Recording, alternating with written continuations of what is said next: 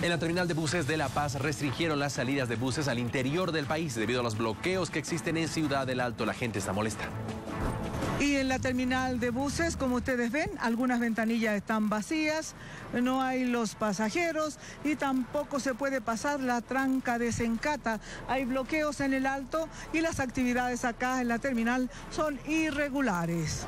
No, no, no tenemos salidas, están restringidas las salidas por el motivo del bloqueo que tenemos en el alto.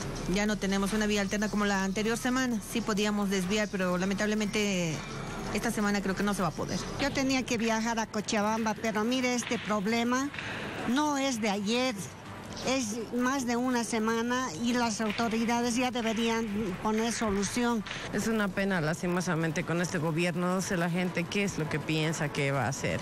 Bueno, obviamente nos perjudica a todos, ¿no? Porque venimos nosotros dando vueltas y, y nos ha costado mucho llegar uno del alto aquí y ahora de salir de aquí, ¿no?